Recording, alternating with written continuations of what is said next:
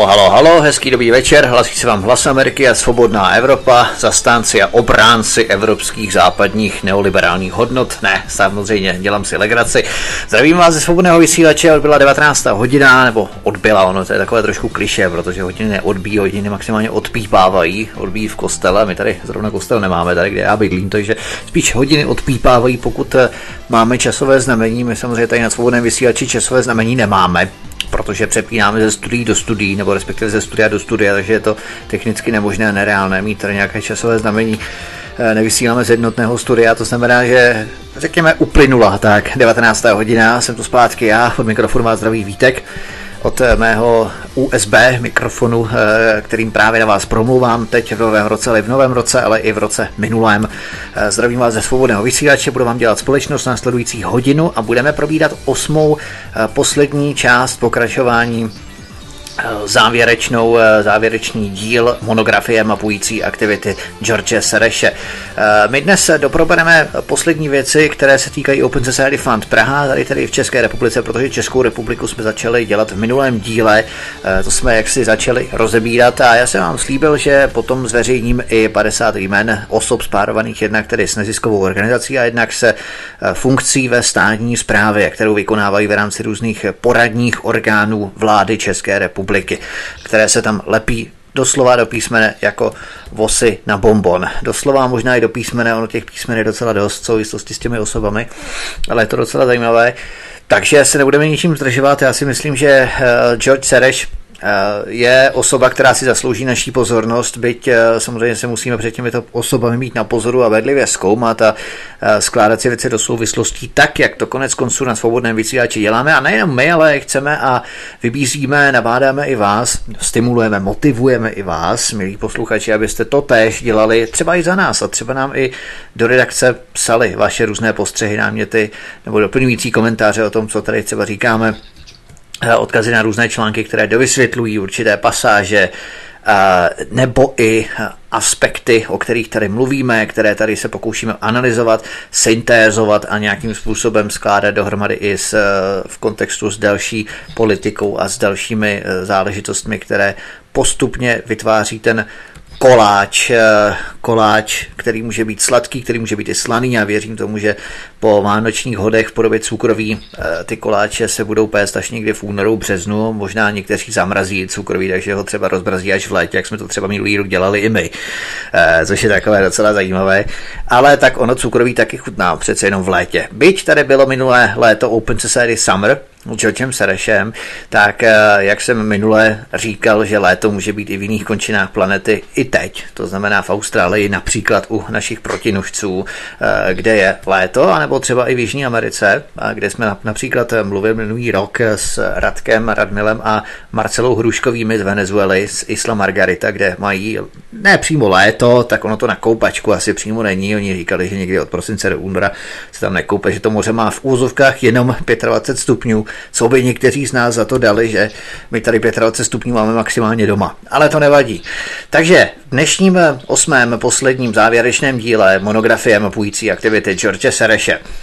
Doprobereme Open Society Fund Praha a protože jsem to průběžně během všech epizod sliboval, dnes odhalíme 50 jmen osob, které působí jednak tedy v neziskovém sektoru, jak jsem zmínil před chviličkou, a které rovněž vykonávají funkce ve státní správě v podobě různých pracovních skupin, výborů, podvýborů a komisí, co by podpůrných a poradních orgánů vlády České republiky. To dokumentuje naprosto otřesné prorůstání neziskového sektoru do státní zprávy a jeho ovlivňování. Ale vraťme se zpět k Open Society Fund Praha eh, které jsem začal rozbírat minulý rok. My jsme si tady potom ještě povídali, ještě, pardon, povídali o mm, Centru nezávislé žurnalistiky, nebo jak se to vlastně jmenuje, eh, Pavla Holcová a další lidé, Ondřej Kundra, kteří tu působí, eh, stejně jako Tom Nicholson, který spolupracoval se zavražděným Janem Kuciakem na Slovensku, stejně jako Pavla Holcová a tak dále. Ta propojení tady jsou eh, poměrně zajímavá i s Open Society Fund Praha v rámci té, eh, toho Centra nezávislé žurnalistiky, stejně jako Open Society Praha, anebo stejně jako Media Fund Development Fund, například Media Development Investment Fund.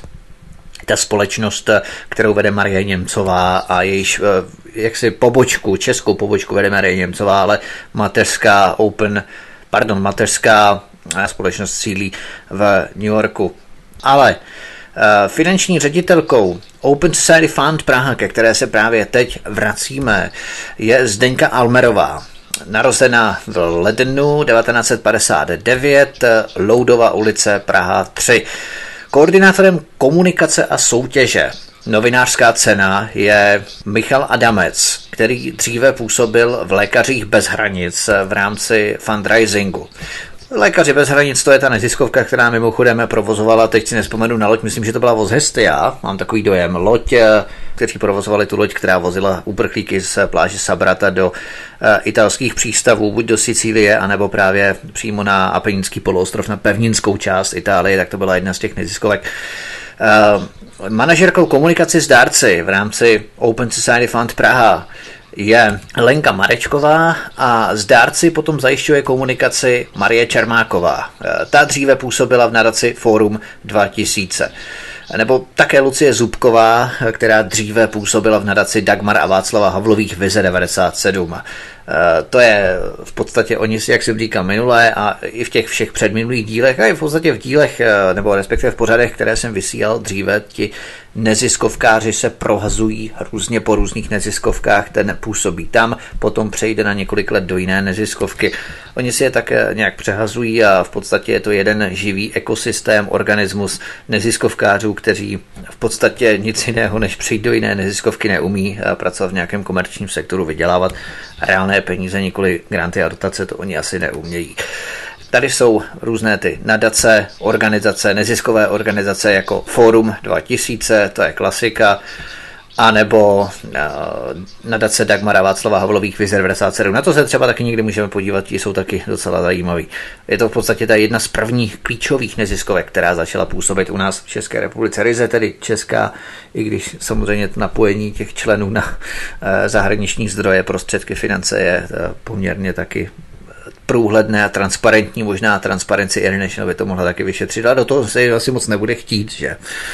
S médií potom komunikuje v rámci Open Society Fund Praha Lucie Šplíchalová, Radka Pudilová, ta působí jako projektová koordinátorka v Open Society Fund Praha, ale zároveň vystudovala veřejnou zprávu se zaměřením na globální média a komunikaci na Středoevropské univerzitě v Budapešti. Středoevropská univerzita v Budapešti, já jsem to tady probíral v sekci Maďarsko v jednom z předchozích dílů mapující aktivity George Sareše v rámci naší osmidílné monografie, kdy jsem tady procházel různé ty obory a to si opravdu poslechněte, to stojí za to, různé obory Středoevropské univerzitě v Budapešti. A ty obory jsou opravdu velmi zajímavé, velmi lukrativní, každý by to chtěl studovat a, a potom mít tu patřičnou průpravu multikulturní, promigrační a řekněme pro neoliberálně nastavenou průpravu eh, v rámci těch jejich tezí. No, Monika Hrochová v rámci Open Society Fund Praha působí jako koordinátorka programu vzdělávání dětí a mladých lidí, která dříve pracovala v neziskovce Meta OPS. To je taky známá klasika Meta OPS. Eh, velmi bedlivě a pečlivě monitorujeme. Monika Hrochová se věnuje podpoře migrantů Potom eh, Štěpán Vidím Drahokoupil. To je zajímavá osobka. Štěpán Vidím Drahokoupil je nejenom koordinátorem programu vzdělávání dětí a mladých lidí v Open Society Fund Praha, ale také bývalým místo předsedou správní rady Amnesty International. Eh, to jsem Amnesty International mimochodem jsem probíral v rámci amerických think tanků a institutů eh, v tom dvoudílném pořadu, nebo třídílném, ano, to byl třídílný pořad u nás na svobodném vysílači minulý rok. Myslím, že to běželo v dubnu, v květnu 2018. Štěpán Vidím Drahokoupil studoval politologii, kterou potom přednášel. Štěpán Vidím Drahokoupil se oženil s dcerou Jiřího Vidíma, bratra bývalého poslance Jana Vidíma z ODSky. No, Barbara Hořevová, nebo Hořavová, pardon, Hořavová, působí jako manažerka programu Dejme, že nám šanci. A dříve mezi lety 2004 až 2013 působila jako výkonná a později eh, finanční ředitelka neziskovky Multikulturní centrum Praha. Opět přehazování lidí z neziskovky do neziskovky. Marie Heřmanová, další která působí v Open Society Fund Praha. Marie Hermanová působí jako projektová koordinátorka, dříve se věnovala mediální práci v oblasti migrace ve společnosti Člověk v tísni. Opět přehazovaná. To je zajímavé, to, to je taková docela legrace, když to tady jmenováváme a dáváme si ty věci dohromady, kdy, kde, kdo, kdy působil. Markéta Kráčalíková působí jako koordinátorka nadačního fondu Hyundai. Vystudovala obor veřejná zpráva regionální rozvoj na Vysoké škole ekonomické v Praze a v rámci tohoto studia absolvovala stáž ve společnosti Člověk v tísně. No, členy dozorčí rady Open Society Fund Praha jsou Martina Schlesingerová, tu jsem tu jmenoval, Milady Horákové, Bubeneč Praha 7, také finanční ředitelka Českého centra pro investigativní žurnalistiku. Ano, to se tak jmenuje, ne? Nezávislou investigativní žurnalistiku tohoto centra. Pavly Holcové, Ondřeje Kundry a tak dále. Tak eh, ta tady také působí opět prolínání s Open Society Fund Praha přímá návaznost. Daniel Kunz, inženýr Daniel Kunz, Bítovská, Michle, Praha 4, eh, potom Roman Karáš, Bukolská ulice, Bohunice, Bohnice, Praha 8, tak eh, to jsou další členové dozorčí rady Open Society Fund Praha. A to je také důležité, protože my jsme si to jmenovali Open Society Fund Praha, to je odnož mateřské nadnárodní, mezinárodní matky Open Society Foundations a Open Society Fund Praha je jaksi česká divize a otevřená společnost, kde působí třeba Jan Kaso, a další lidé, to je také otevřená společnost, přímo takto se tam jmenuje otevřená společnost, tak to je další divize, nebo derivát těch různých otevřených společností. Eh, a 8. července 2014 vznikla firma Open Society House, eh, Prokopova ulice, Žižkov, Praha 3, s jednatelkou Jana Mravcová. Slapy, a společníkem tady je právě Open Society Fund Praha. Ano, to znamená společníkem, který přispěl na rozjezd a na rozchod této firmy Open Society House, je právě Open Society Fund Praha. To znamená, je vlastníkem a propojená skrze vlastnická práva na tuto společnost. Eh, dále za Open Society Fund Praha vystupují například Oldřich Kužílek, dříve zástupce Michala Kocába, také absolvent amerického vládního programu International Visitors Leadership, jak jsme tu probírali také ve dvoudílném pořadu absolventů tohoto amerického vládního programu, který si pěstuje kádry. Eh, potom Česlav Valek, to je známá klasika, který pořádal druhý a třetí a možná ještě nějaké ročníky pochodu Prague Pride a je rovněž absolventem International Visitors Leadership, opět tohoto amerického vládního programu. Magdalena Karvajová, koordinátorka projektu Romské iniciativy, je také absolventkou International Visitors Leadership, to jsou kádři v Open Society Fund Praha, pracuje i eh, Jakub Mráček, který se účastnil programu International Visitors Leadership, opět tohoto amerického vládního programu od 3. do 14. prosince 2012 uh, Civil Society a Cornerstone of Democracy for Secretary Clinton's Dialogue with Civil Society. Občanská společnost v dialogu s Clintonovými tajemníky, nebo jak bych to mohl měl přeložit. No, Potom Tomáš Němeček, toho už jsme tu probírali i v několikrát v minulém díle, právník, psychiatrická nemocnice Bohnice, eh, Kromě toho, že je členem správní rady Transparency International v Česku i Slovensku, tak je neuvolním členem zastupitelstva městské části Praha 8 s členstvím ve třech komisích školství, redakční rada, organizační komise a člen rozkladové komise ministra zdravotnictví. Právník Tomáš Němeček je také členem rady novinářské ceny soutěže pořádané nadací Open Society Fund Praha. Tím jsem vlastně začal tu závěrečnou sekci České republiky v minulém díle, pokud si vzpomínáte. Myslím, že to není tak dlouho, eh, jako voliči si nespomínají, co bylo před čtyřmi lety, ale myslím, že před dvěma dny, tak eh, naši posluchači si určitě vzpomínají, co bylo před čtyřmi, osmi, dvanácti a více lety. Eh, to je jenom normálně. Lidi, kteří nás asi neposlouchají, tak si asi nespomínají, ale já věřím tomu, že kdo nás poslouchá, tak si vzpomínáte nejenom, co bylo před čtyřmi lety, ale co bylo před dvěma lety, před dvěma dny, pardon, to znamená v pondělí, pokud nás samozřejmě neposloucháte ze záznamu, nebo jste si na YouTube našli pouze tento jeden díl. Takže si vzpomínáte, že jsem o Tomáši Němečkovi mluvil i v minulém díle. Tak, uh, Open Society Fund Praha finančně podporuje například Pražský institut bezpečnostních studií, Prague Security Studies Institute, také Združení pro integraci a migraci. Tato neziskovka je strategickým partnerem Open Society Fund Praha. Uh, no, máte to přímo na stránce, pokud si to chcete vyhledat. No, Eh, myslím, že to je v sekci Kdo jsme.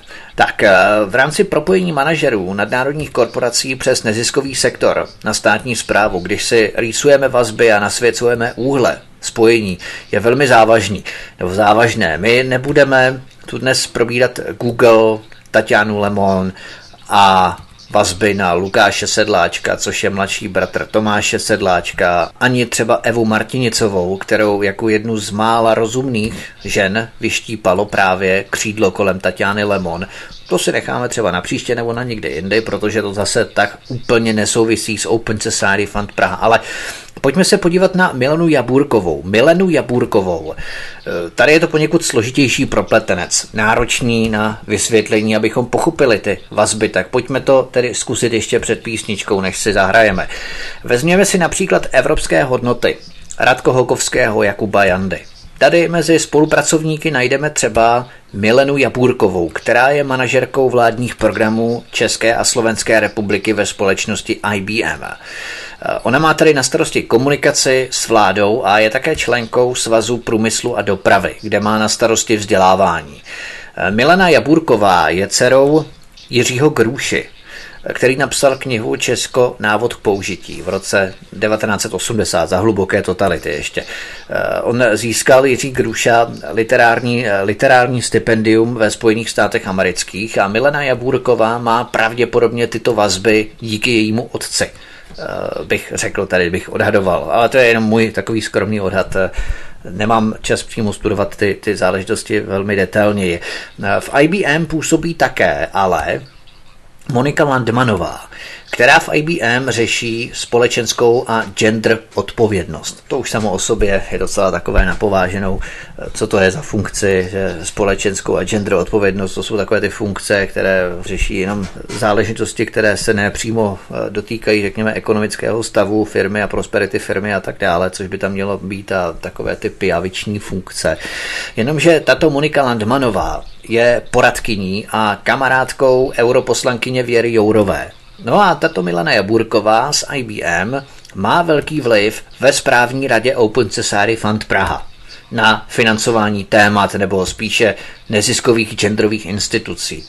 Já nedokážu posoudit, do jaké míry jsou sami exponentkami tahané za provázky, kým si v zákulisí, nebo zda oni sami jsou těmi, které za provázky tahají v rámci Open Society Fund Praha. Nicméně tato provázanost přes Milenu Jabůrkovou a Moniku Landmanovou, obě z IBM, až na europoslankyni Věru Jourovou, tu jsou naprosto zřejmé když eh, ty vazby studujeme opět, jak se všichni krásně znají a jsou napojeni až na europoslance. A nebo víte co, to si necháme po písničce, to je trošku delší, tak eh, abychom nestráceli souvislosti a tématicky to nějak patřičně oddělili. Takže hudební pauza je právě na cestě. Dnešním společníkem jsem já, respektive svobodný vysílač, který vám dělá společnost, který vás provází dnešní večer. Od mikrofonu vás zdraví Vítek. Vy posloucháte osmý závěrečný díl monografie mapující aktivity George Sereše. Písnička je na cestě, hezký večer, za 3-4 minuty jsem tu zpátky, pokračujeme. Vítek vás zdraví ze svobodného vysílače, písnička nám dohrává, takže jsme tu zpátky, pokračujeme dále, jak jsme slíbili před třemi, čtyřmi minutami, tak jsme tu opět eh, s mapováním aktivit George Sereše. Tak, eh, zhruba od roku 2015 pracuje na prestižním ekonomickém pracovišti společnosti Cerge. Mimochodem zakladatel Cerge je Jan Švejnar, to jsme možná nevěděli, nebo někteří z nás to nevěděli, Jan Švejnar, že je zakladatel Cerge. Tak tady působí jistá Štěpánka Gray Marková. A tato Štěpánka Gray Marková na CERGE dohazuje feministické bláboly, různé projekty nebo zakázky feministických organizací, na základě kterých potom CERGE produkuje cinknuté statistiky o genderové nerovnosti. Tady můžeme rýsovat další propojení na Milenu Jabůrkovou s IBM, také externici, pra, eh, externí pracovnici evropských hodnot s velkým vlivem ve správní radě Open Society Fund Praha na Moniku Landmanovou z IBM, která je poradkyní europoslankyně Věry Jourové. Stávající ředitel společnosti CERGE Michal Kejak a jeho zástupce Ondřej Rydval upřednostňují kvantitu peněz před kvalitou výstupu. No a tak CERGE produkuje feministické bláboly, dohazované poradkyní europoslankyně Věry Jourové Monikou Landmanovou z IBM. Tak, půjdeme, půjdeme trošku dál. Podle smlouvy ze 30. ledna 2018 poskytla nadace Open Society Fund Praha George Sereše, Prokopova ulice eh, Praha 3, dotační příspěvek Masarykově univerzitě v Brně, proběhl také o tom článek, myslím na Aeronetu, jsme to zpracovávali s panem VK, Žerotínovo náměstí 617 lomeno 9 Brno, zastoupené docentem doktorem Břetislavem Dančákem, částku ve výši 326 579 korun, eh, tedy fondy George Sereše otevřeně podporují Masarykovou univerzitu v Brně. Jistě by vás zajímal účel, na jaký byla tato částka Masarykovou univerzitou v Brně vynaložena. Jednalo se o realizaci projektu Výzkum manipulativních technik, programová oblast Nenápadný půvab demokracie, to je takový hezký poetický název, Grantová výzva mapování ruského vlivu v České republice a na Slovensku. Monitorování ruských strašidel má probíhat od, nebo mělo probíhat od 1. února 2018 do 30 ledna 2019, tedy zanedlouho by to mělo skončit. Eh, bude se jednat o tři vlny, v tomto případě se spíš už jednalo o tři vlny sběru a analýz manipulativních technik užívaných pro kremelskými spravodajskými servery v České republice.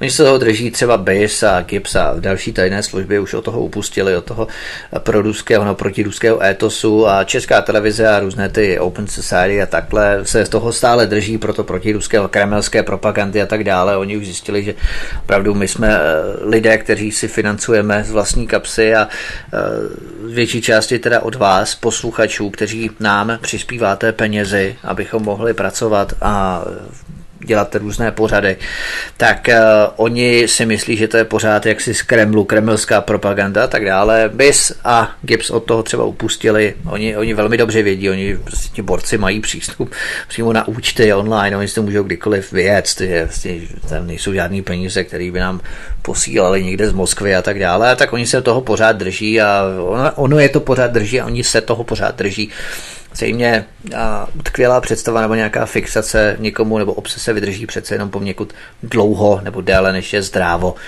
Možná Tomáš Němeček z psychiatrické léčebny v Bohnicích eh, by se na to mohl podívat, ale tomu se asi taky nebude chtít.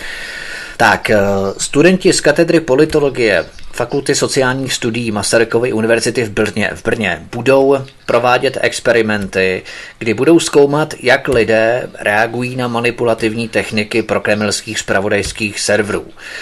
Tak, to byla první fáze. Ve druhé fázi budou tito studenti provádět takzvané focus groups, kde budou hloubkově zkoumat příčiny a pohnutky, díky kterým respondenti těmto technikám podléhají prý. Eh, tady v té smlouvě se dokonce uvádí, že experimenty budou provádět na třístech subjektech. V podání Masarykovy univerzity vidíme ten nadřazenecký tón v rámci narrativu a rétoriky, výrazových jazykových prostředků, řekněme, eh, které tu používají, provádět experimenty na třístech subjektech, jako by prováděli pokusy na laboratorních myších a ne s lidmi. Přesně to vystihuje jejich akademickou nadřazenost, nabubřelost s jakou přistupují k tomu českému plepsu, té lůze z ulice, která nepřemýšlí a veškeré její střebávání informací se odehrává na emocionální, instinktivní, čistě pudové rovině primitivních atavistických sklonů, náchylné ruské propagandě. A proto přicházejí naši spasitelé, studenti, děti, které budou provádět experimenty na 300 subjektech, na 300 subjektech, na těch dospělých starších lidí, kteří už ne, nedrží to tempo informační jako ty děti a proto je děti potřebují učit, eh, jak si jejich rodiče a prarodiče, jakým způsobem střebávat informace, aby nás konečně naučili správně přemýšlet spolu s nadací Open Society Fund Praha George Sereše. No, žadatel, tedy katedra politologie Fakulty sociálních studií Masarykovy univerzity v Brně uvádí, že projekt reaguje na akutní potřebu bránit se působení vlivu cizích mocí skrze propagandu a dezinformace na území České republiky. E, zaměřen bude na konkrétně manipulativní techniky a jejich efektu na občany. Ocitujme si z pasáže smlouvy. Prvním krokem bude analýza manipulativních technik. Výzkum se nejprve zaměří na detailní popis jednotlivých technik. V tomto můžeme navázat na starší analýzy. Na trámec dosavadních analýz budeme v tomto projektu zkoumat především jejich percepci ze strany občanů. Pro porovnání reakce sílových skupin na vystavení propagandě bude využito, bude využito metod experimentů a focus groups, které umožňují porovnávat různé situace a reakci subjektů na ně. Díky tomu bude možné identifikovat manipulativní techniky, které mají silnější efekt na změnu názorů či postoje občanů. Následujícím krokem bude zkoumání toho, jaké skupiny obyvatel jsou kterým manipulativním technikám náchylnější, což nám pomůže i lépe pochopit, jak občany proti takové hrozbě lépe chránit. Konec citace. Takže oni nás chtějí ochránit. Dále budu vyzvávat jenom pasáže, které se mně obzvláště líbí. V počátečním stavu a příčinách se tu uvádí. Obecně panuje přesvědčení, že díky novým technologiím, které k šíření propagandy v současnosti přispívají, jsou manipulacím náchylnější zejména starší lidé, kteří s technologickým vývojem nestíhají držet krok. Jak však naznačují informace z různých studií, zdá se, že mladí lidé sice dokáží techniky, pardon, technologie ovládat. Jejich schopnost chápat je a rizika s nimi spojená však značně pokulhávají. Takže když dešifrujeme to, co je tu uvedeno, tak zjistíme, že podle Masarykovy univerzity v Brně starší lidé nechápou, Mladí lidé taky nechápou, no a proto jsou to oni, zase opět studenti, adolescenti, světlonoši, apoštolové svobody, demokracie, vlajkonoši naší svobody, pravdy a lásky, kteří přemýšlí, jak by jak starší, tak i některé mladé od vlastního myšlení uchránili. A k tomu jim pomůžou datace z přední propagandistické dílny Open Society Fund Praha George Sereše, respektive financování a zdrojování. V další pasáži, která nese název Čeho chcete v projektu dosáhnout, jaké jsou vaše cíle, oni uvádí. Cituji. Výsledkem projektu bude zjištění, které z užívaných manipulativních technik mají na vnímání občanů největší vliv a zároveň které u skupiny obyvatel je riziko změny postojů vlivem působení těchto technik největší a to umožní efektivnější vypracování nástrojů a postupů, jak se těmto vlivům bránit. Dále tu uvádí, že Základními ukazateli úspěchu projektu bude mediální pokrytí jeho výstupu, čili Masarykova univerzita z fondy George Sereše chce provádět vlastní propagandu. Oni to vnímají jako svobodnou diskuzi a kritické myšlení, ale je to čirá propaganda ze strany těchto skupin a kruhů, protože oni tu dále uvádějí, že v posledních dvou letech se stál boj proti propagandě, dezinformacím a manipulacím vysoce atraktivním a akutním společenským tématem. Takže ten záměr, proč zrovna boj s ruskou propagandou, je zcela zřejmý a zjevný. Je to módní, je to atraktivní. A je to také akutní, ano, ale je to atraktivní. Takže oni tady přímo uvádějí, že je to lákavé, atraktivní, attractive je lákavé v překladu. Takže to je hezké, aspoň to, aspoň to umí přiznat. Ale já nevím, jak vy, já dost eh, si dělám monitoring i v rámci mediálních výstupů jen z mainstreamu na různých serverech a i eh, v českém rozhlase a tak podobně. Českou televizi nikoli, protože my televizi nemáme, nemáme ji už asi 7 let a je nám velmi fajn.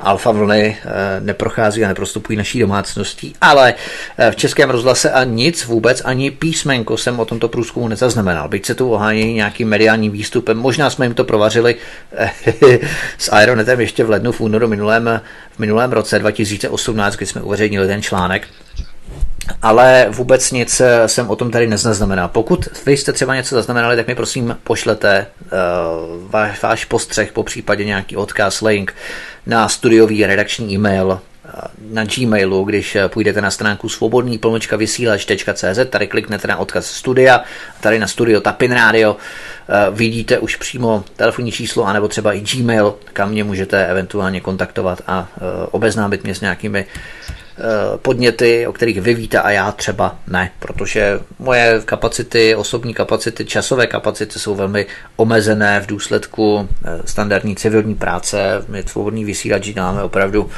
po večerech, když máme volno a to není příliš jaksi výdělečná činnost, jak musíte sami uznat. A pak tady máme výpis toho projektu, jak si sumarizace, jak ten průběh, pardon, jak ten projekt probíhal. Takže únor 2018, sumarizace dosavadních informací a identifikace klíčových manipulativních technik. Začátek budování databáze jedinců ochotných zapojit se do výzkumu, ať už v rámci experimentu nebo focus groups. Dále, březen 2018, tvorba designu, experimentální části výzkumu, potom duben až červen 2018, provedení experimentálních sezení, potom červenec a srpen 2018, realizace focus groups, září až listopad 2018, už se blížíme do současnosti, vyhodnocování nazbíraných dat, listopad 2018, formulace doporučení, listopad a prosinec 2018, medializace výsledků výzkumu, to bylo to, co nezaznělo, nebo co jsme nezna, nezaznamenali, aspoň já tedy ne, v prosinci. Na odměny pro účastníky Focus Groups bylo vynaloženo 40 x 750 korun, dohromady 30 tisíc korun a účastníci experimentu obdrželi na odměnách 300 x 300 korun, dohromady 90 tisíc korun. Osobní náklady spojené s projektem byly vyčíslené na 146 900 korun za přípravu výzkumných designů, provádění focus groups, závěrečnou analýzu a schrnutí s doporučeními. Dále 48 tisíc korun za přípravu výzkumných designů, provádění experimentů a závěrečnou analýzu a dalších 36 tisíc korun na administrativy nebo administraci projektu a personální zajištění projektu. Potom 5000 korun za ekonomické aktivity spojené s projektem. Dále v rámci stipendií spojených s administrací eh, těch focus groups bylo vyčleněno 20 tisíc korun. No, máme tu tedy dotační podporu univerzity zcela otevřeně dotační podporu dalších společností, jako je EduIn nebo Česká odborná společnost pro inkluzivní vzdělání neboli ČOSIV. Máme tu internetové portály, které provozují členové správní rady Open Society Fund Praha. Neměli bychom zapomenout na legislativní lobby, protože ta je také poměrně rozsáhlá. Uveďme jenom namátkou Open Society Fund Praha byla spoluautorem výzvy ke zrušení přílohy pro děti s lehkým mentálním postižením, ale naší pozornosti by nemělo uniknout, že Česká republika věnovala Open Society Fund Praha v roce 2015 částku, a to jsem tady říkal v minulém díle, 111,5 milionů korun. Open Society Fund Praha rozdělila v rámci projektu Dejme ženám šanci částku 160 milionů korun Konkrétně v roce 2015 to proběhlo. 60 milionů korun na tento konkrétní projekt vyinkasovala z české státní pokladny, zatímco zbytek z norských fondů. A vedle toho byly pořádané konference za podpory norských fondů a za asistence Open Society Fund Praha s ohledem na tento program Dejme ženám šanci. No a mezi řečníky třeba na těchto konferencích tohoto programu byli uvedeni třeba ex-ministr pro lidská práva Jiří Dinsbír nebo ex-ministrině práce a sociálních věcí Michála Marksová Tominová. Tady přesně vidíme, jakým způsobem zasahuje neziskový sektor do nejvyšších pater politiky. Norské fondy jsem dlouhosáhle probíral v mých minulých pořadech, kde jsem vykresloval na základě tvrdých dat jasná propojení norských fondů na vrcholová patra české politiky. Totež se odehrává v rámci celého neziskového sektoru. Uvědomme si sakra, že z těch círka 160 milionů korun na program Dejme ženám šanci nebyla postavená ani jedna škola, nebyla postavená ani jedna LDMK třeba, Nebyla postavená ani jedna školka, nebyl podpořen ani jeden dětský domov, protože všech 160 milionů korun bylo utraceno na přednášky, workshopy, diskuzní panelové debaty, kulaté stoly, tiskové konference, tisknutí letáků nebo aktivistické kampaně. Ani koruna na školy, ani koruna na LDMky, ani koruna na školky, ani koruna na dětské domovy.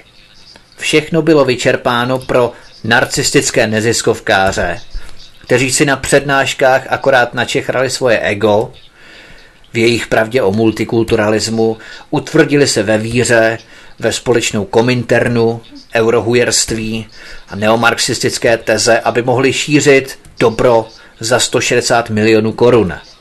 A to je samozřejmě pouhý jeden projekt ze zástupu dalších podobně laděných programů, výzev, grantů a dotací. No, Open Society Fund Praha, jak jsme si už uvedli, přispívá štědrými granty a dotacemi třeba Transparency International Česká republika. Milion 192 801,31 korun financování politických stran a kampaní donor nadace Open Society Fund Praha. 700 tisíc korun na eh, Transparent Politicians 2, Transparentní průhlední politici 2, donor opět Open Society Institute, dříve nyní Foundations. 764 216,32 korun Corruption Offshore LLC, to znamená korupce ohledně offshoreových firm, donor nadace Open Society Fund Praha. Uh, no, vedle Open Society Fund Praha tu potom máme její odnož Otevřená společnost, OPS. To už jsem tady částečně zmínil. Prokopova ulice, Praha 3. Aktuálně je ředitelkou a zakladatelkou v jedné osobě Marta Smolíková, narozená v dubnu 1965. Mánesova ulice, Vinohrady, Praha 2. Členy správní rady jsou Vera Strombachová Budvaj, narozená v červenci 1966 pod Habrovou Hlubočipy Praha 5, Jan Kassel, toho jsem tu zmínil, architekt a bývalý pražský primátor, narozen v prosinci 1951, dříve adresa Vlašská, Praha 1, aktuálně na adrese Eliášova, Bubeneč Praha 6, který dříve také figuroval mimochodem ve správní radě Pražského jara OPS.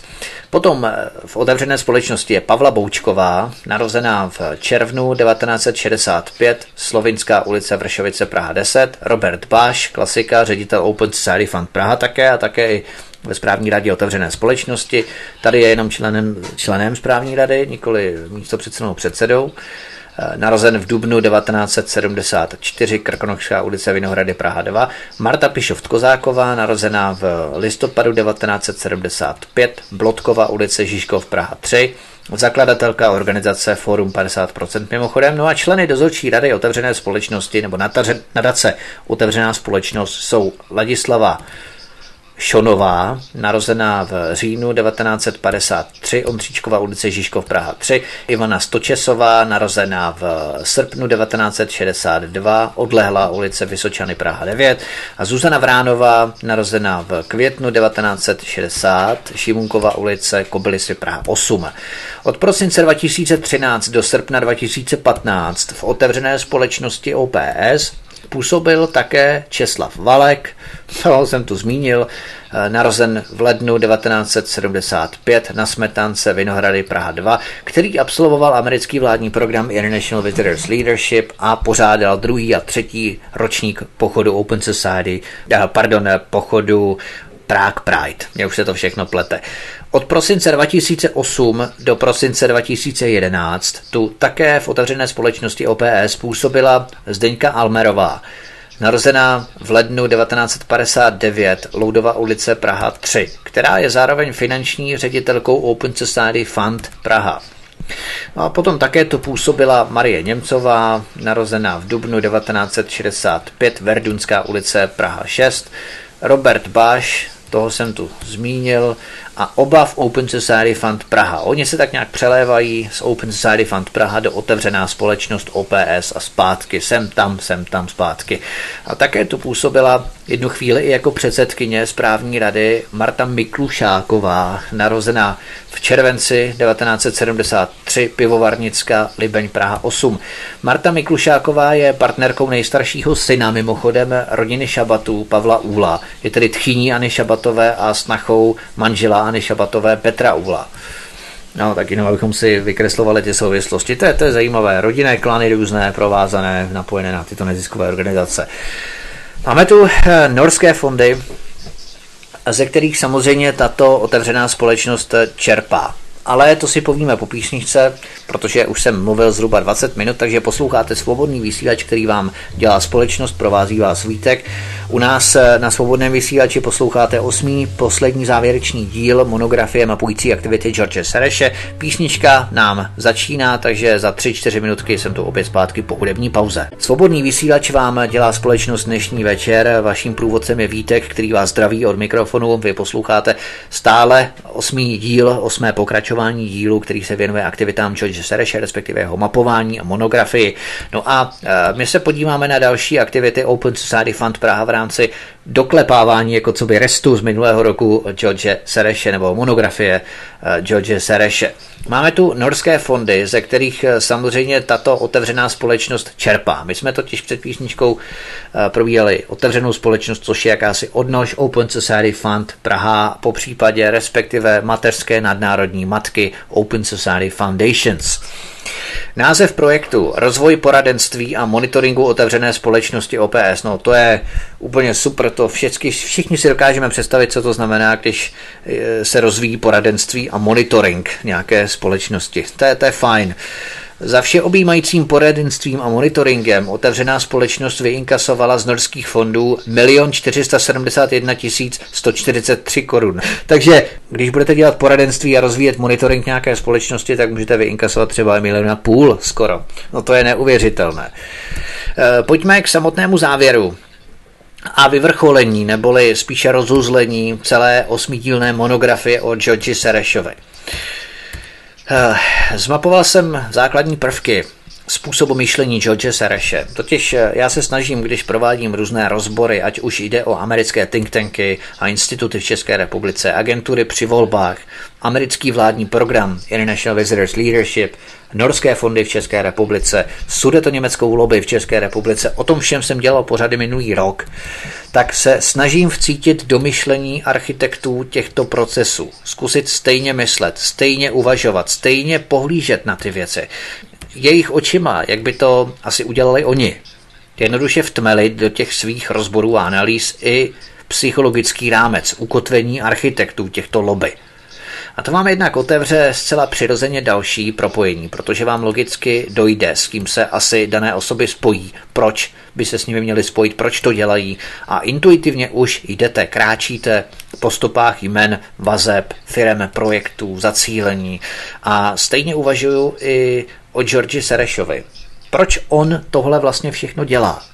On kašle na nějaký Kalergiho plán, na nějaké míšení ras, na nějaké genetické inženýrství a už vůbec není žádným filantropem, mecenášem, altruistou, jak se z něj, jak se z něj někteří snaží vytvářet, ikonizovat ho. Je to prostě čirý, chladný spekulant a investor. Jako investor a spekulant vyhledává globální politické slabiny a nerovnováhy, aby na nich dokázal naprosto chladně vytřískat maximální finanční profit, benefit. George Sereš nejprve zaplatí zástup angažovaných skupin novinářů, politologů, sociologů, agentur, koupí nebo financuje celá média, rádia, televize, noviny, prostřednictvím kterých začnou angažovaní novináři vyznávající neoliberalismus, neoliberální hodnoty a globalismus šířit teze George Sereše směřující k částečnému rozvratu dané země. To je první fáze ovlivňování veřejného mínění. Druhá fáze je podpora militantních skupin, které jsou ochotné rozpoutat občanské nepokoje v daném státě. Následně je ale třeba situaci v dané zemi upokojit, uklidnit. Když je nastolena vláda, vytvářející příznivé prostředí pro Serešové investice, to znamená vláda vyznávající neoliberální a globalistické principy, a je tu opět George Sereš, jako spasitel, který samozřejmě spolu vytváří kultivuje a zušlechťuje společenské blaho, aby se státu začalo obstojně dařit, jak ekonomicky, tak společensky a tak dále a tak dále. Tedy je tu opět George Sereš, aby ty miliony, které George Sereš investoval na rozvrat, nezačaly být příliš samostatné a neinvestovali se bez něho.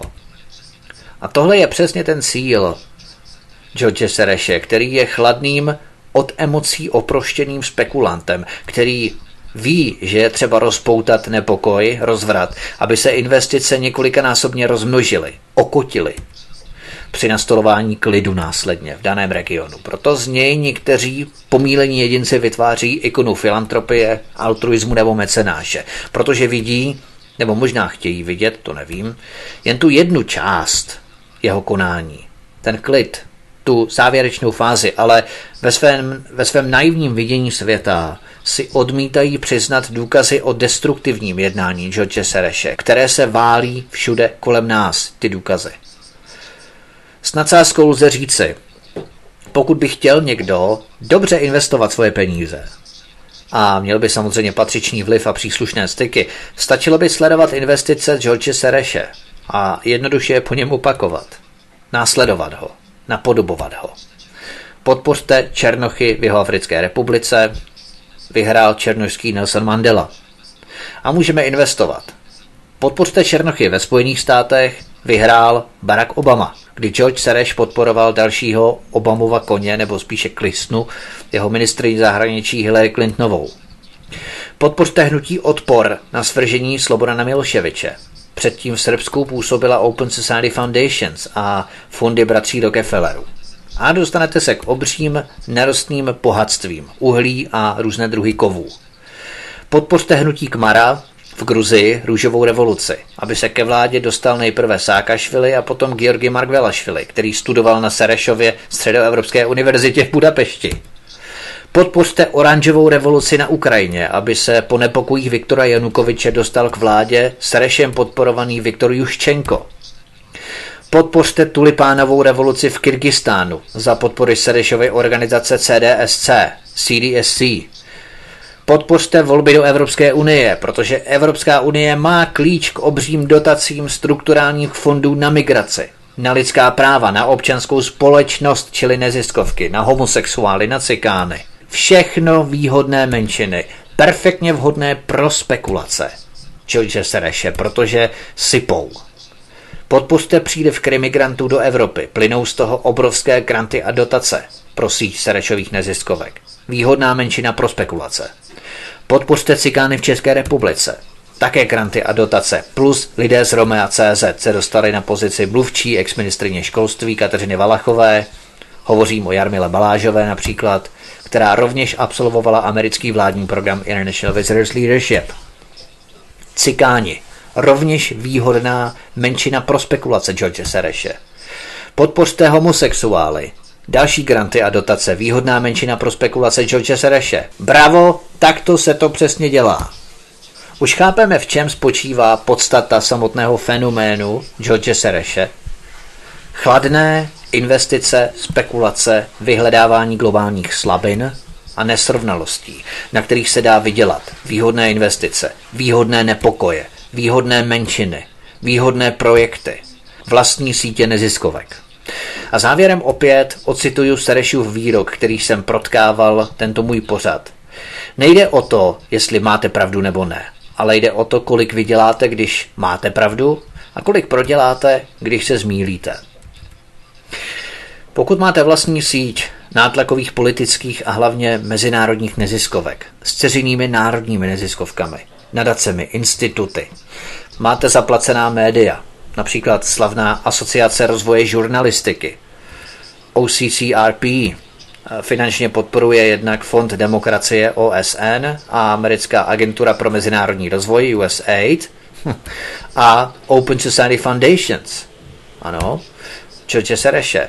A takto bychom mohli pokračovat dál a dál a dál tak pokud máte zaplacená média, sítě neziskovek, nadací různé úrovně, institutů takzvané občanské společnosti, jak mi to nazývají neustále, občanské společnosti, znamená neziskovky, financujete projekty univerzitám, Například jsme tu u nás zmínili Masarykovou univerzitu nebo úzká spolupráce Palackého univerzity v Olomouci se Středoevropskou univerzitou v Budapešti za rok v Berlíně. Stovky neziskovek, které nebo kterým přispíváte od několika tisícových darů po desítky a stovky tisíc. No a takto si postupně vybudujete armádu sítě neziskovek napojených na vaší síť. A potom máte výrazné páky k ovlivňování politických procesů ve svůj prospěch, ve prospěch vlastních investic a vlastních spekulací.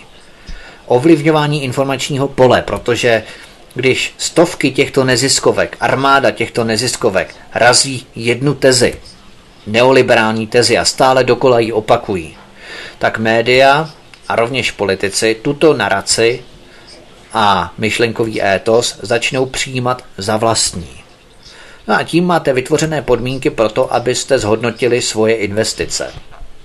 Všechny menšiny, homosexuálové, krimigranté, cikáni, černoši, všechno se stane výhodným artiklem a komoditou pro spekulaci, kterou si George Sereš pojistí patřičným aktivováním a mobilizací skupin ovlivňujících tyto procesy. George Sereš kromě zákulisních operací oficiálně vystupuje v Evropském parlamentu. Na ekonomickém fóru v Davosu například. Oficiálně vydává dokumenty, ve kterých jasně definuje své politické cíle, vize a zájmy. Uvědomme se, že George Sereš je prostě chladným spekulantem a tímto způsobem k němu přistupujme. Proč třeba George Sereš tento rok, nebo minulý rok, vlastně 2018, v květnu nakoupil prostřednictvím svého fondu Sereš Fund Management konvertibilní dluhopisy společnosti Tesla za 35 milionů dolarů se splatností v březnu 2019. Mimochodem, konvertibilní dluhopisy jsou dluhopisy, které mohou být v předem stanoveném poměru vyměněny za akcie. Zkusme hádat. Vždy se ptejme, Qui bono. Kdo z toho má prospěch?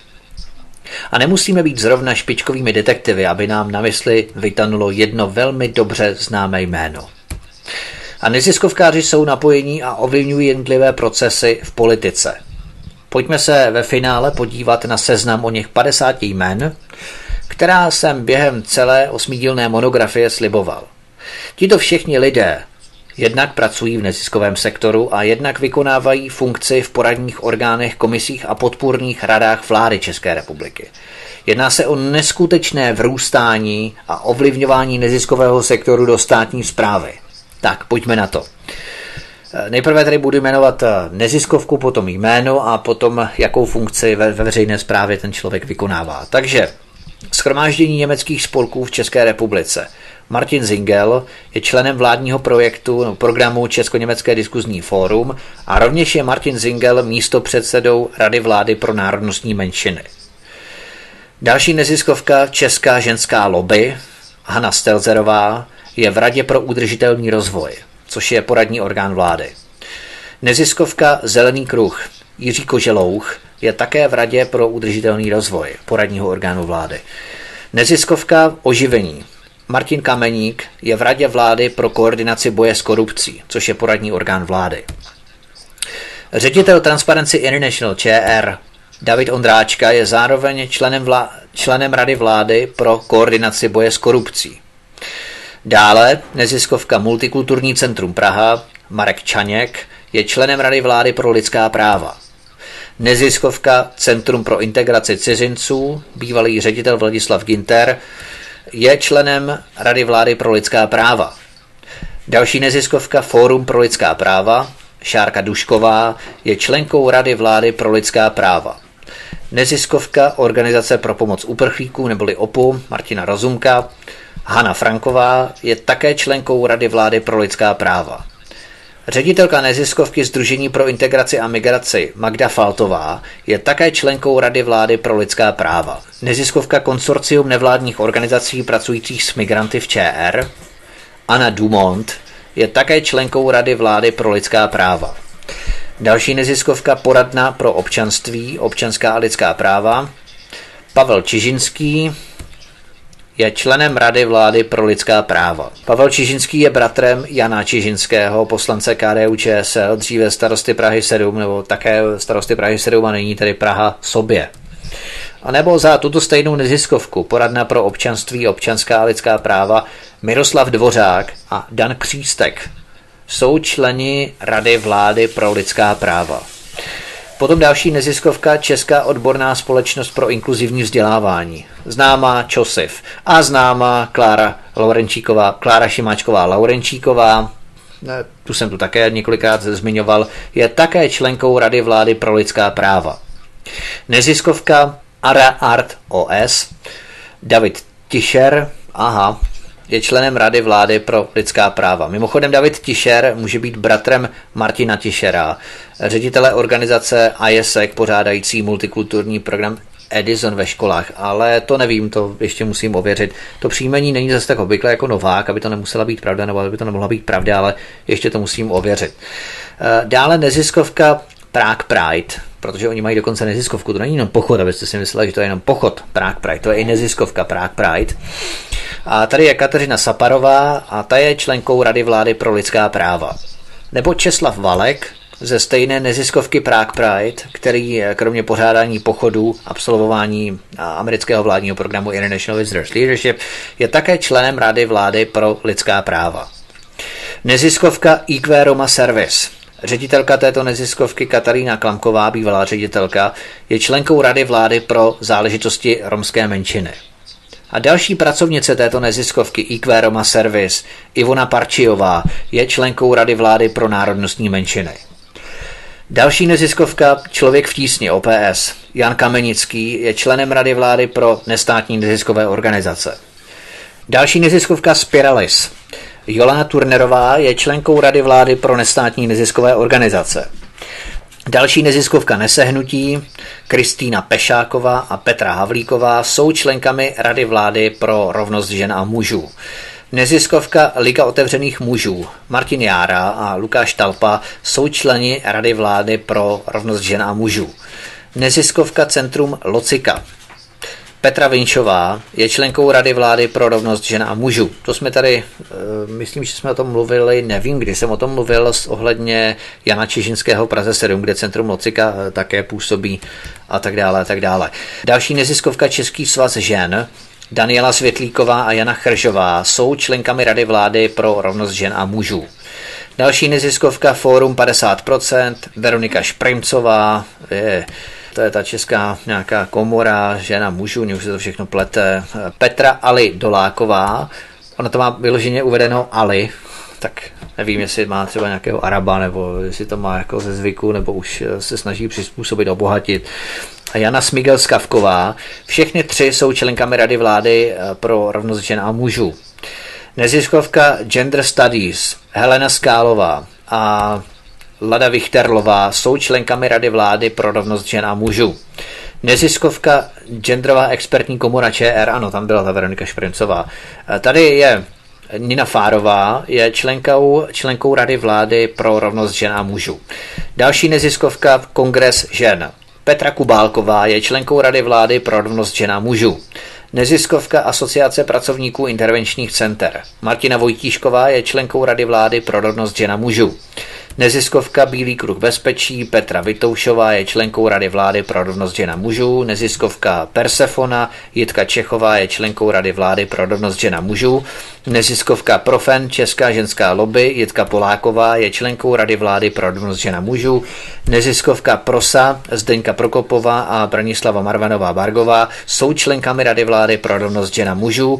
Neziskovka Spondea Jana Levová, a to není SPD mimochodem, Jana Levová z Plzně, to není vůbec, to je, to je akorát schoda jména i schoda příjmení, ale Jana Levová to není. Je členkou Rady vlády pro uh, rovnost žena mužů. Neziskovka Alternativa 50 uh, eh, Kateřina Kňapová je členkou Rady vlády pro rovnost žena mužů. Neziskovka Stud Brno Marek Krist je členem Rady vlády pro lidská práva. Neziskovka Transfusion, nebo Transfusion, já nevím, jak se to čte, Matidio je členem Rady vlády pro lidská práva. Neziskovka nadace partnerství Michal Veselý je členem Rady vlády pro nestátní neziskové organizace.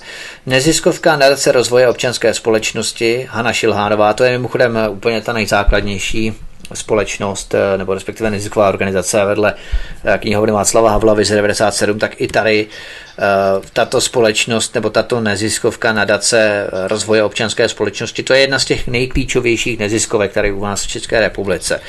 Je členkou, takže Hana Šilhánová v této neziskovce nebo z této neziskovky je členkou Rady vlády pro nestátní neziskové organizace. Nadace rozvoje občanské společnosti je řazená opravdu na tu nejvyšší příčku top hierarchie v pyramidě českých neziskovek, protože je napojená na fond pro nestátní neziskové organizace a přerozděluje peníze ostatním českým neziskovkám. Ano, tak to bychom si měli zapamatovat, ale k tomu se vrátím někdy v uh, mých dalších pořadech. No, další neziskovka Newton Media. Ivan Vodochodský je členem Rady vlády pro rovnost žen a mužů. Neziskovka Akorus. Jaroslava Chaloupková je členkou Rady vlády pro rovnost žen a mužů. Neziskovka Integrační centrum Praha.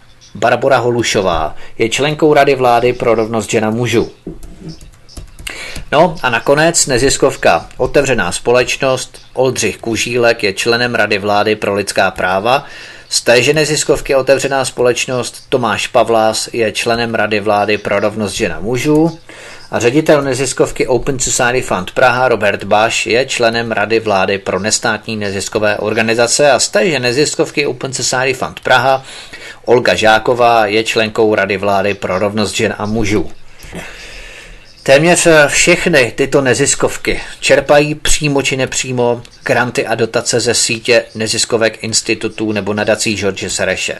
Nicméně i kdyby nečerpali, na tomto seznamu vidíme naprosto jasně a opět tvrdá jména, neziskovka a státní funkce. Jak hluboko jsou pracovníci a zástupci neziskového sektoru zakořenění v různých radách, komisích, výborech a podvýborech, poradních orgánech anebo pracovních skupinách vlády České republiky. Je skutečně neuvěřitelné, když pátráte po těch jménech a státní funkci, jaké množství jich najdete – kteří vykonávají nějakou oficiální státní funkci ve státní správě. To je skutečně alarmující stav, který, stavuje, který panuje v České republice. Jakým způsobem český neziskový sektor ruku v ruce i s neziskovkami George Sereše zasahuje do tvorby legislativ ve prospěch zastupovaného neziskového sektoru. To je něco otřesného. Máme to ozdrojované černé na bílém. Opět opakuji, jděte a ověřte si to. Pokud nad tím chcete strávit týdny a týdny, nad analýzami, tabulkami, pavouky grafickými, znázorněními daných vazeb, klidně, běžte do toho. Přijdete na to tež, na co přicházím postupně já.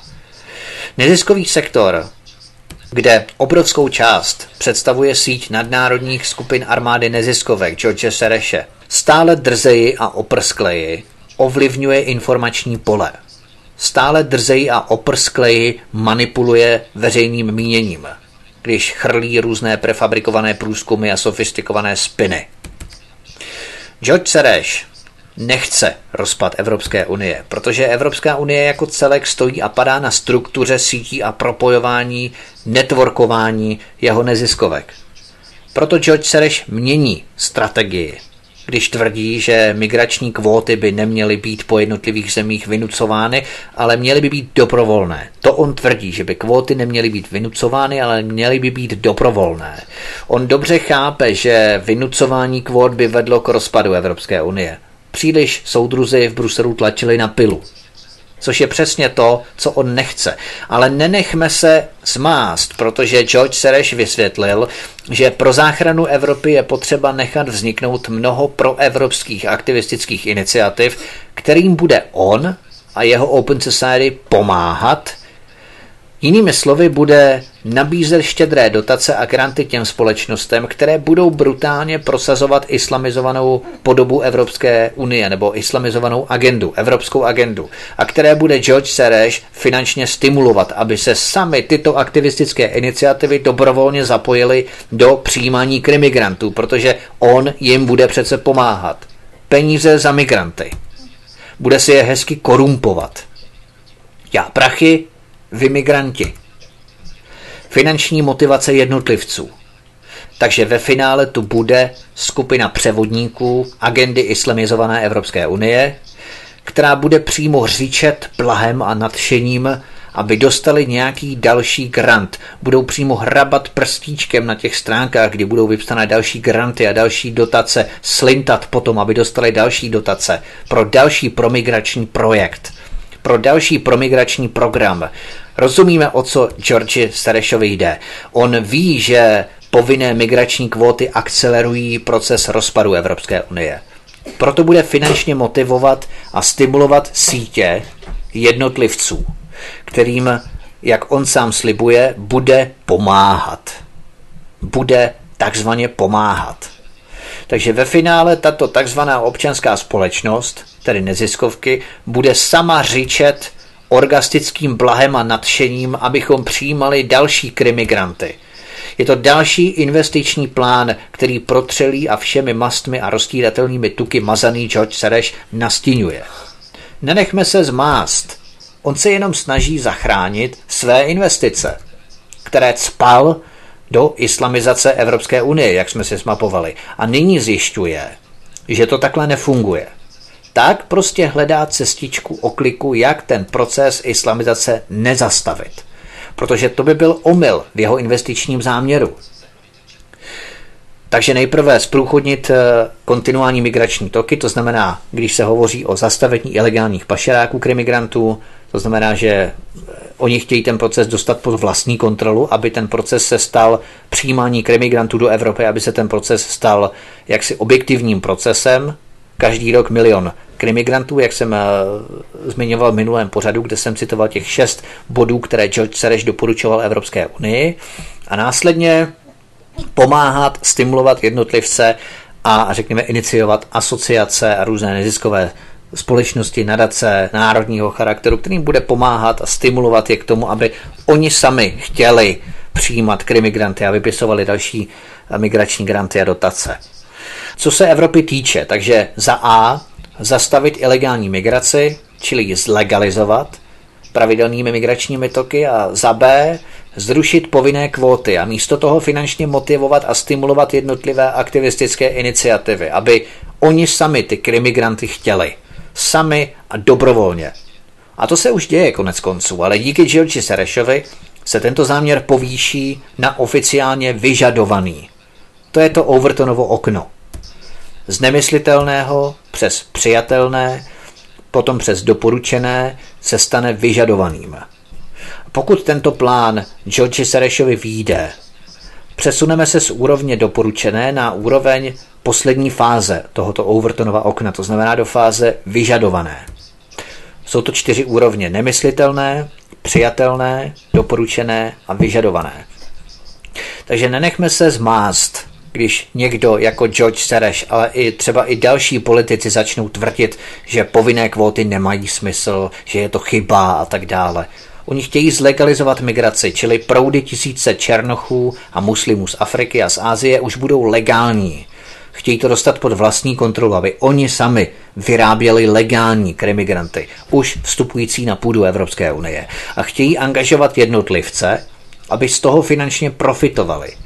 Čili tu vzniknou zástupy motivované finančními pobítkami pro příjem krimigrantů, kteří budou prstíčkem hrabat, aby jim z toho něco káplo aby z toho měli nějaký vejvar, nějaké lupení. To je skutečně to je skupina těch skutečných kapitalistů, kteří prodají za nějaký tučný balík, nějaký tučný obnos nebo výhodný biznis i vlastní matku. Bez skrupulózní, bezpáteřní ventry, sliské, úlisné ludry, které když zjistí, že na tom něco trhnou, že jim z toho něco kápne.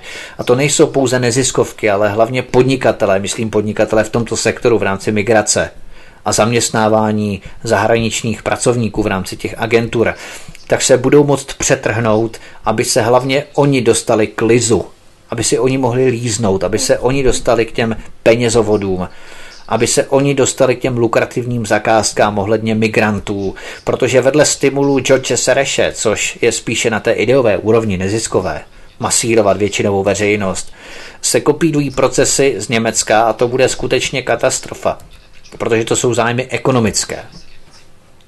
No, blížíme se ke konci. Tedy v těchto osmi dílech jsme si zmapovali aktivity George Sereše a sítě na něj napojených neziskovek a organizací.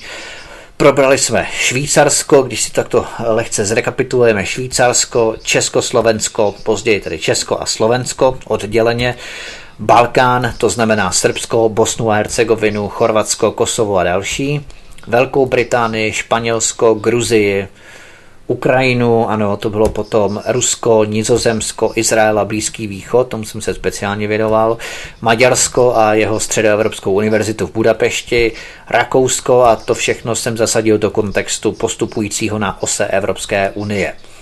Dále jsme se podívali na Spojené státy, americké Hillary Clintonovou a další organizace a naposledy, nebo nakonec jsme proskoumali českou novinářskou soutěž pořádanou Open Society Fund Praha, DVTV, řídící pozice Open Society Fund Praha a jeho odnože otevřené společnosti a nakonec jsem uvedl zhruba 50 jmen z různých neziskových organizací v České republice, které, nebo kteří jsou rovněž zastoupení v poradních orgánech, výborech a pracovních skupinách vlády České republiky, tedy totální propojení a zakořenění neziskového sektoru do české politiky. Prosím, opět a znovu, nenechávejme si tohle pro sebe.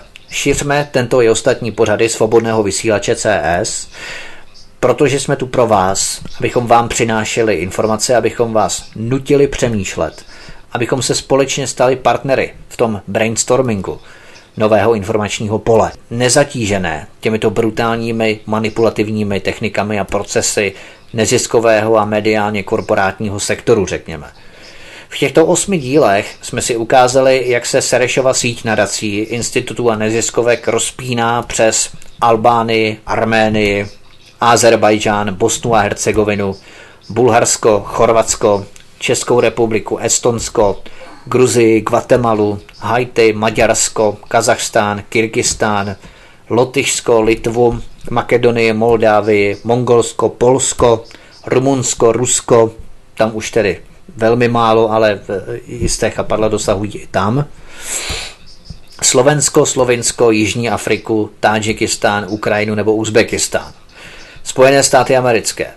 Nesmíme vynechat Provedli jsme i sondu do některých evropských zemí s akcentací na Česko a Slovensko, ale e, snažil jsem se to na ose mezinárodního kontextu vsadit do jednotlivé linie, abychom si utvořili obrázek o tom, jak funguje tento obrovský organismus, ekosystém, hierarchie nebo síť struktury armáda, impéria neziskových nadací, think tanků, investičních fondů, institutů, středisek, ústavů, ale také obchodních aktivit George Sereše. Je to skutečně vybudované impérium, jakýsi stát ve státě, propojený v jednotnou armádu, šik nátlakových organizací, obepínajících přesně jako chobotnice mnoho států na světě. Tato armáda se snaží vytvářet různými technikami, nástroji a mechanismy spinů a prefabrikací nátlak na veřejné mínění. A samozřejmě politiky k prosazování vlastní agendy, migrace, islamizace, multikulturalismu, globalismu, neoliberalizace, homosexualizace, cikanizace a inkluze. Když o tom všem víme, je samozřejmě snadnější se proti tomu postavit a bránit. My nejsme bezmocní. Teď máme ty informace, které představují náš štít, náš informační štít vůči informační záplavě této chobotnicové hydry. A my si tomu musíme postavit, čelit a hlavně aktivně vystupovat proti těmto praktikám, metodám a manipulacím. Opět informujme se navzájem, bádejme, studujme, sestavujme si věci do souvislostí, máme zlatý věk informačních technologií pro Boha. Dnes máme jedinečnou možnost přístupu k informacím, které jsme, které jsme nikdy předtím neměli. V dobách, kdy mainstreamová korporátní média měla monopol na informace, na informační pole, ho teď už ztrácejí, nemají ho, ztrácejí ho, ztrácejí vliv nad naším vědomím. Jsme samostatně myslící bytosti, které nepotřebují asistovaný výklad prověřených odborníků k tomu, abychom něco pochopili. Skládajme si fakta, sestavujme informace, analyzujme zprávy, máme zlatou éru přístupu k informačním technologiím. Takže nedopustíme, aby se společenské vědomí potácelo ve větší apatii, rezignaci, letargii a nezájmu než v dobách, kdy jsme tolik informací neměli. Zlatý věk informačních technologií se přece musí odrazit i v našem uvažování, v našem pochopení a v našem zájmu. A pokud se to neprojeví, spadneme do doby temna, do doby absence informací, do doby, kdy jsme věřili různým kmenovým šamanům, mastičkářům, pohádkářům, sektářům, kteří snadno naše vědomí opanovali. Proč? Protože jsme neměli informace. Dnes je máme. Tak pro boha nepodléhejme těmto moderním sektářům a pohádkářům o stříbrné energii neviditelných bytostí z vesmíru. Když se přestaneme zajímat o dění kolem sebe, o naší společnost a hlavně o informace, staneme se sami vlastními hrobaři. Máme vlastní luxus dopátrávat se věcí, rozmanitostí zdrojů. Tak toho sakra využívejme. Stejně jako jsme společně podnikli tuto osmidílnou pouť po aktivitách George Sereše ve vybraných klíčových zemích s důrazem kladeným na Česko a Slovensko. To by bylo vše. Já vám děkuji, že jsem mohl konečně doklepnout ten osmidílný pořad monografii mapující aktivity George Sereši. Já jsem rád, že se mi to konečně podařilo. No a příště, pokud nebudou nějací dobří hosté a jak, jakýkoliv hosté, protože jak jsem avizoval a jak jsem vždycky říkal, upřednostním hosty před sám sebou, před sebou samotným, tak pokud nebudou dobří hosté, tak se příště vrhneme už na arabské podsvětí a mafii, rodinné arabské klany v Brně a budeme mapovat, budeme se procházet, projíždět po Brně a zkoumat různé adresy, firmy, lidi, Araby a tak dále, různé kšefty, jakým způsobem třeba brněnské radnice kšeftují a obchodují s, pronajímají prostory různým arabským firmám, fyzickým osobám, podnikatelům pro jejich biznis a tak dále, tak dále. To propojení, ta propojení jsou tady opravdu neuvěřitelná. Takže zůstaňte s námi, sledujte program Svobodného vysílače. My se s vámi loučíme. Tento i ostatní pořady obligátně si můžete stáhnout v MP3 formátu na stránkách na archivu Svobodného vysílače svobodný vysílač.cz pod odkazem studia Eh, pardon, archiv a tady studio Tapin Radio a tady, to znamená na hlavním portále, na hlavní stránce svobodného vysílače, klikněte na odkaz archiv, tady studio Tapin Radio, tady potom máte veškeré mé pořady, anebo můžete se vydat, vypravit, naštívit i náš YouTubeový kanál, eh, kde ale můžete poslouchat pořady pouze online, zatímco na archivu si můžete stáhnout tyto pořady, je tam samozřejmě player pro přehrávání ve formátu MP3 si můžete ale ty pořady stáhnout a potom nás poslouchat třeba i offline na vaší cestě autem a, a tak dále ale po případě i jinak, jiným způsobem na mobilním zařízení, anebo právě na YouTubeovém kanálu nás můžete poslouchat online, pouze online, ale naše pořady tady umístujeme bez písniček vzhledem k autorským právům. Tak, to je všechno, mějte se všichni moc krásně, přeju vám hezký zbytek večera, zůstaňte naladěni dále na svobodném vysílači CS, pokud chcete, abychom vám dělali společnost i dál. No a příští týden se, nebo respektive v pátek obligátně, ale každé pondělí, a pátek od 19 hodin pokud to pojmu takto univerzálně, se tady uslyšíme opět spolu se mnou. Hezký večer, od mikrofonu vás zdraví Vítek, mějte se krásně.